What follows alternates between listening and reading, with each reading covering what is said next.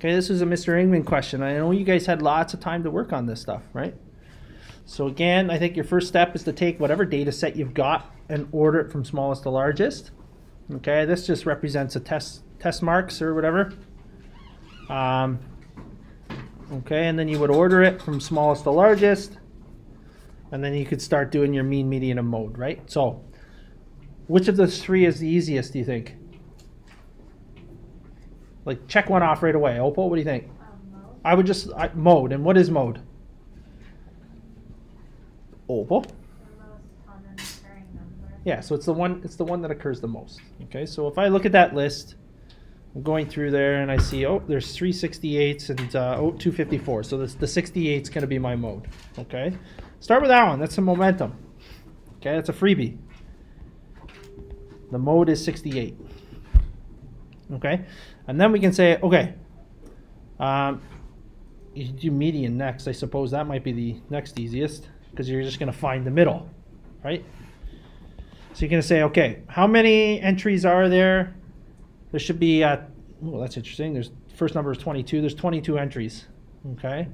So 22 entries, that means like I'm not going to find the middle of 22. It's going to be like an 11 and 11 sort of situation, right? And so you're going to have to like count 11 from either side. Right? So 1, 2, 3, 4, 5, 6, 7, 8, 9, 10, 11. Here's the 11. And that must mean that counting 11 from the other side, we're going to see that. Okay? So there's your two middle entries. And then the true median of the data set is the middle of those two. Okay, so we know to find the middle of something. If these two numbers, I think right off the bat, you could identify that 67 and a half is right in the middle of those two. That's not too bad. But what happens if you have two numbers that is not necessarily easy? How would you find the middle? You could go 67 plus 68 divide by 2. That'll tell you the middle. Okay, so just in case you get something like, I, don't know, uh, 54 and 63, and you want to find the middle of those two things, you can just add them together and divide by 2. Okay, so that'll give you 67 and a half. So there's, there's your median for this data set. Okay, and then the, probably the most time consuming, which is why I've left it to the end, is finding the actual average or the mean, right? So the mean is going to be like the sum.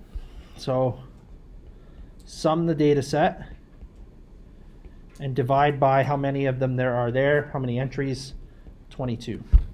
Okay, so it turned out when I added this all together, I got 1409. And then when I did the divide that by 2, you guys correct me if you think I'm wrong.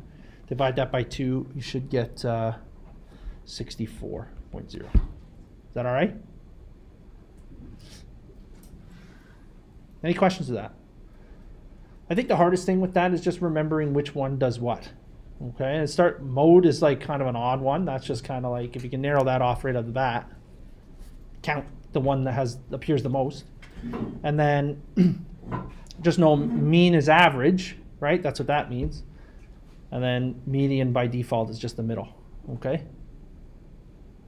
Any questions?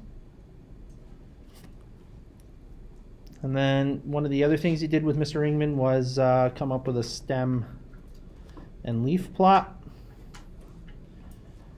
Okay? And remember stems, like if I, you're basically breaking numbers into two pieces, right? Stems being the first number and then the leaf being the second number. Okay, so for 22, your stem is going to be 2, and then the leaf is going to be 2. Okay, and then there's no more entries in the 20s, so you're good with that column. Next one. Okay, so then you're going to go 3. Okay, well, I've got a couple entries in the 30s. So we're going to have 34 and, oh, 35. But that's it. We're good. Okay, now we're into the 40s. Next stem is going to be 4, and we're going to have 43, 8. Okay, we're good. 5.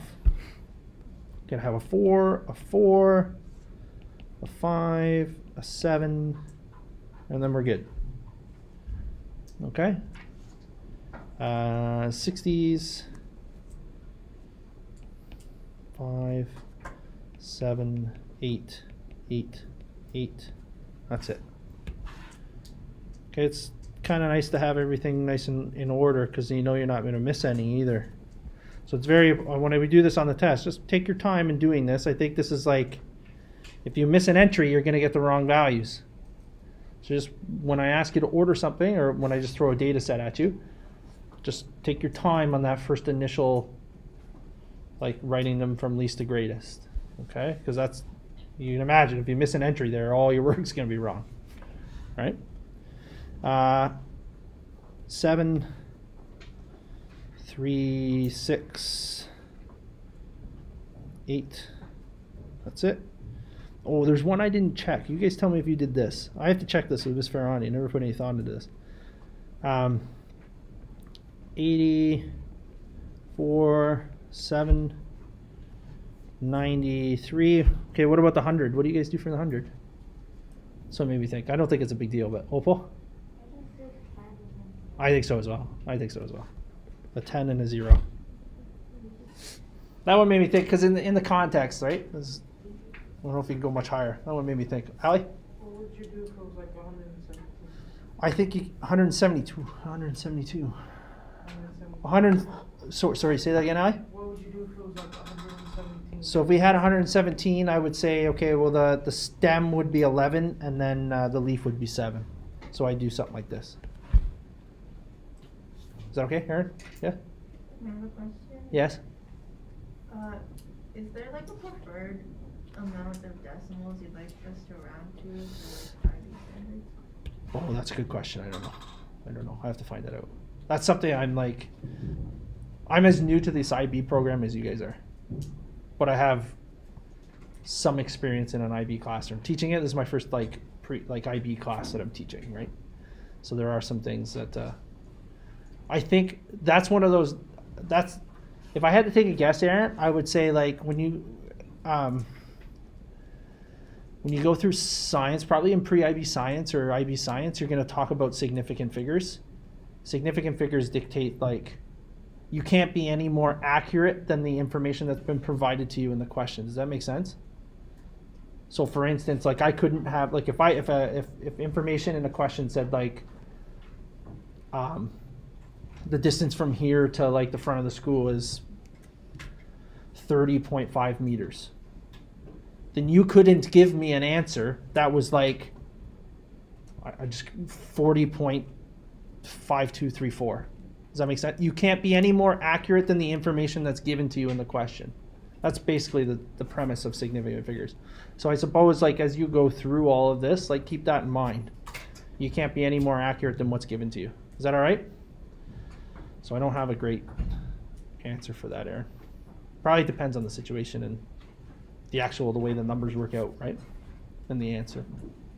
Okay? Does anybody have any questions with that one? That's relatively straightforward. I don't think that's too bad. Where I think maybe we do, would have some questions is maybe the box and whisker plot, if we had any. Okay. Now again, I I'll probably put all this on the test as well. I'll just so you don't have to memorize it. Um, just what the interquartile range is, uh, what a low outlier by definition is, and what a high outlier by definition is. Okay, but uh, you're still required to figure out what Q3 and Q1 are. The same way you would have been required to find what Q2 was. Okay, so using the data set on the other page, right? That's what we're talking about here. Um, I want to find what uh, Q3 is and what Q1 is. Okay, and remember, I think this was a little bit of an issue if you haven't, like, I hadn't done this in a while. And this is one of the things that maybe stumped me a little bit. When we talk about the, we want like the, like Q3 is like the upper, like the 70, whatever, there's the, the upper quartile, right? And so we're splitting the, the upper half of the data in half. Okay, but it has to include the two in the middle that from the Q2. That was one of the things that caught me as Mr. Ingman explained that, right? So you're going back to your data set and you're breaking it into you're basically drawing Q2 on, and now you have two halves. And you go find the middle of those two other halves. Does that make sense? So Q3 is going to be the upper half, and Q1 is going to be the lower half. So now you have 1, 2, 3, 4, 5, 6, 7, 8, 9, 10, 11 entries, which is an odd, which is nice because now you can find the middle. So you can have five entries on either side of the number in the middle, or your Q1 entry, right? So you know, 1, 2, 3, 4, 5 One, two, three, four, five. Okay, so 54 is my Q1. Okay. Does anybody have any questions with that? So it's important to remember it's the whole data set you're breaking like like the upper half and the like the upper half and lower half into uh, quarters. You're breaking the whole data set into quarters. I suppose is the best way to explain that. Okay, and so Q3 you should expect to be, if we look at it, uh, same thing. One, two, three, four, five, six entry. One, two, three, four, five. Okay, so 78 would be the upper quartile. Okay? And then because we know we need it, I would find the like the interquartile range, like how far apart are those middle, the middle of the data, upper and lower quartiles, right? Well, IQR is going to equal Q3, so 78 take away 54, which should be 24. Okay, and then just to check, I also put the low outlier, just so that you guys can see whether or not you're going to have any outliers. You're going to have the low outlier to be um, Q1, which is 54, take away uh, 1.5 times 24, which you'll find to be, when you do this, 18. So there's your, anything lower than 18 is going to be an outlier to the data set. Okay, and then your uh, high outlier is going to be um, 78 plus 1.5 times 24. And you'll find that to be 114. Okay, so it looks like based on the data, everything within our data set is like a, nothing's an outlier. Okay, it all falls within the, the normal ranges. Okay? Okay, now I saw a whole bunch of people drawing all sorts of stuff. I think with Mr. Ingman, we had a few box and whiskers plots. I think that's where some of the, they got a little bit, uh, not confusing. Just there was more of them on the actual um, grid. For this one, you know, I think you could just draw one grid, like a two-dimensional representation, or one-dimensional, I suppose, even. That's uh, your marks from zero to 100. Break that in half to 50, break it in half again to 25, and break this upper half to 75. Call this marks in percent. Okay, and then just draw on your quartiles. So I'd start with the boxes and then put the whiskers on.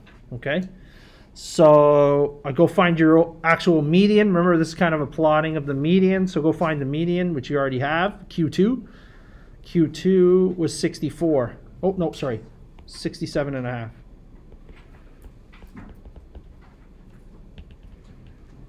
It's Q2. Okay, so go plot 67 and a half wherever you think it is. It's probably somewhere in here. Okay, call that Q2. And then plot your other two quartiles. 54 is probably somewhere in here, closer to 50. And Q3 is 70. What did we say it was?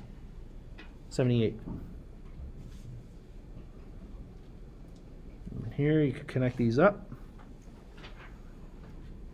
Okay. That takes care of the boxes part. And what's the last part? We gotta draw the whiskers on, right? The whiskers are your high and low entry for the data set. So you have 100 in your data set, which means you're gonna go all the way up to here. There's one whisker. Okay. And then you have a 22 in your data set, which is gonna be down here somewhere. Here's your other whisker. Okay, no outliers. All right. Call that Q1 and Q3 if you wanted. Okay, any questions?